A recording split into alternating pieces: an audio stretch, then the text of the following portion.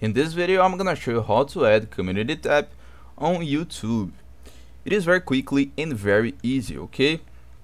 First of all, I will point out that I'm doing the process on my computer, okay? And you need to do this process on your computer too.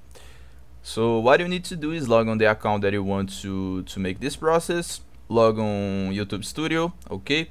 And come on settings right here, okay? So click on settings, here you will see several options, we need to click on the second option, channel. So below general channel, and after doing that on the last option, feature eligi eligibility, okay? After doing that you need to, to enable these three options right here, okay?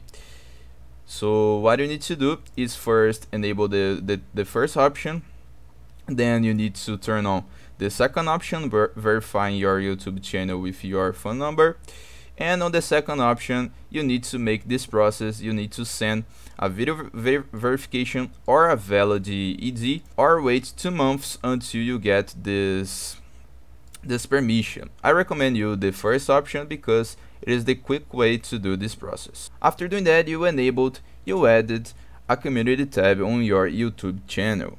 I hope I help you how to add a community tab on your YouTube channel. So if this video helped you in any way, hit the like button and subscribe to our channel to receive useful tips.